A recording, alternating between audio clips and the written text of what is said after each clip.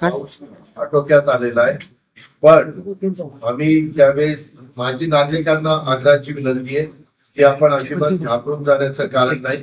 कारण आम्ही आर्मीला पण अलर्ट राहायला सांगितलेलं प्रयत्न करतोय की त्याच्यामध्ये जर कोणी अडकलेलं असेल तर त्याला कसं लवकरात लवकर बाहेर काढता येईल अशा प्रकारचा सरकारचाही प्रयत्न आहे आणि प्रशासना पण त्या पद्धतीनं अलर्ट म्हणून काम करत आहे पर्यटनाच्या निमित्तानं धबधबे बघण्याच्या करता पाणी कसं पडतंय ते बघण्याच्या करता बऱ्याच नागरिकांना मुला मुलींना उत्साह असतो.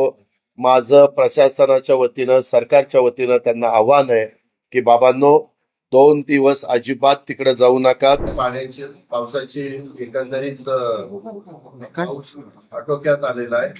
पण आम्ही त्यावेळेस माझी नागरिकांना आग्रहाची विनंती आहे की आपण अजिबात घाबरून जाण्याचं कारण नाही. कारण आम्ही आर्मीला पण अलर्ट राहायला सांगितलेलं आहे. आर्मीची एकता नगर आपल्याला सगळ्यांना माहितीये आपण पण टीव्ही चॅनलवाले अनेक जण एकता नगरचा परिसर सिंहगड रोडचा दाखवत होता. तिथं आर्मी आम्ही अपॉइंट केलेली आहे. आणि तिथं जवळपास थोडे कमी शंभर लोक आर्मीचे आहेत. त्याच्यात इंजिनियर्स आहेत त्याच्यामध्ये डॉक्टर्स आहेत चार मुलगी आहेत. त्याचबरोबर तिथं आम्ही एनडीआरएफची पण टीम अपॉइंट केलेली आहे. त्यांचे चाळीस लोक आहेत. चार त्यांच्या मोठी आहेत. आताच मी तिथल्या आमदार माधुरीताई विसाळांशी पण बोललो आणि अधिकाऱ्यांच्याकडनं पण चौकशी केली. राजेंद्र भोसले आयुक्त स्वतः तिथं होते. ते आता पुणा कॉर्पोरेशनमध्ये आले आहेत. त्याच्यामध्ये त्यांनी सांगितलं की आता पाणी भाग बोटवर म्हणजे दुर्गाभर पण पाणी राहिलेलं नाही. जेवढ्या लोकांना शिफ्ट व्हायचं होतं त्या बोटीच्या माध्यमातून सगळ्या लोकांना सुरक्षित ठिकाणी शिफ्ट करण्यात आलेलं आहे. काही लोक त्यांच्या नातेवाईकांकडे जात आहेत त्यांना पाण्याच्या बाहेर काढल्यावर तर त्यांना आम्ही मुभा दिलेली आहे कारण तो त्यांचा अधिकार आहे. पण ज्या लोकांना शिफ्ट करायला म्हणजे ज्यांना कुठंच राहायची जागा नाही अशांना पण व्यवस्था कॉर्पोरेशनच्या मार्फत केलेली. आणि मुख्यमंत्र्यांचा पण बारकाईने मी मुख्यमंत्र्यांशी सतत संपर्कात आहे. मुख्यमंत्री महोदय अधिकाऱ्यांशी आणि माझ्या संपर्कात आहे. त्याच्यामध्ये चहा पाणी नाश्ता जेवण झोपण्याच्या करता जे काही चादरी ब्लँकेट वगैरे लागतील त्या सगळ्या व्यवस्था करायला सांगितलेल्या आहेत केलेल्या आहेत.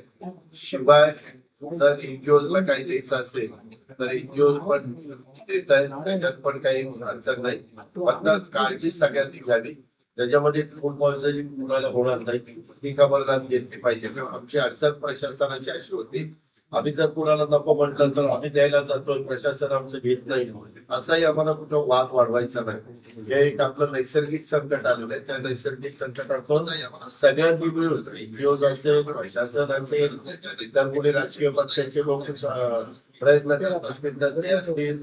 आमची आर्मी असेल आमचं एनडीआरएफ असेल आमचं एसडीआरएफ असेल आमचं पीएमआरडी असेल आमचं पुणे महानगरपालिका असेल आमचं पोलीस दल असेल हे सगळ्यांनीच त्याच्यामध्ये लक्ष घातलेलं आहे. प्रत्येक जण आपल्या नियंत्रण कक्षामध्ये थांबून या सगळ्या गोष्टीवर नियंत्रण ठेवण्याचा प्रयत्न करत आहे मुळशी धरण देखील बऱ्यापैकी भरलेलं असल्यामुळं मुळशी धरणाला कलेक्टरला सांगून त्यांना वीज निर्मिती करायला सूचना दिलेली आहे. जेणेकरून वीज निर्मितीचं पण पाणी त्या बाबतीमध्ये कमी व्हायला मदत होईल.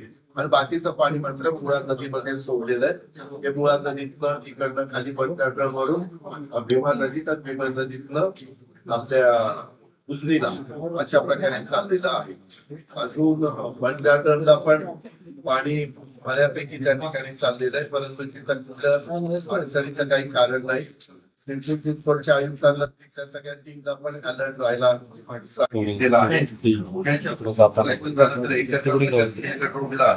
आपण आर्मीला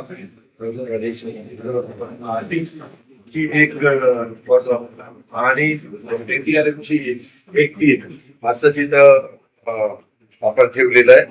नंतर शिवाजीनगर संगम परिसरावर आपण आर्मीचा कॉलम स्क्वेअरला तिथं ठेवलेला आहे.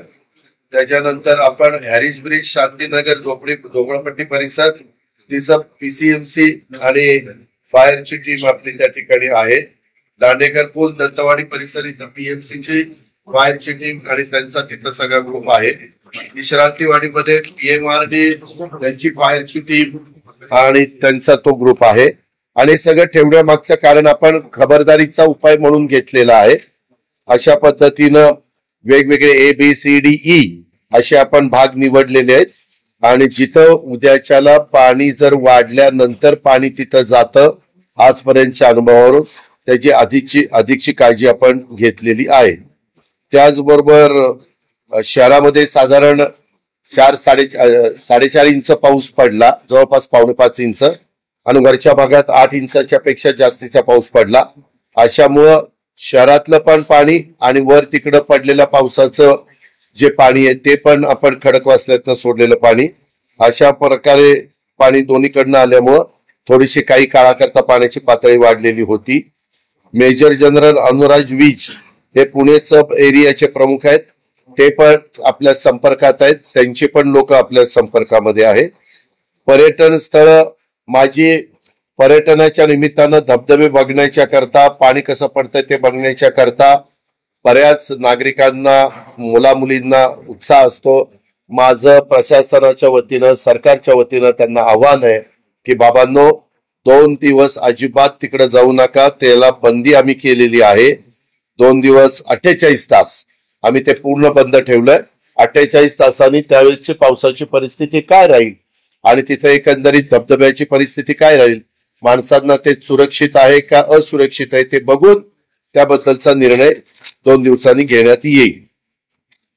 लवासाला मात्र वरचा मलबा हा मोठ्या प्रमाणावर खाली आलाय आणि त्याच्यातले काही बंगले पण त्याच्यामध्ये बंगल्यावर पण मलबा आलेला आहे. तिथं पण आपली टीम गेलेली आहे. ते प्रयत्न करतायत.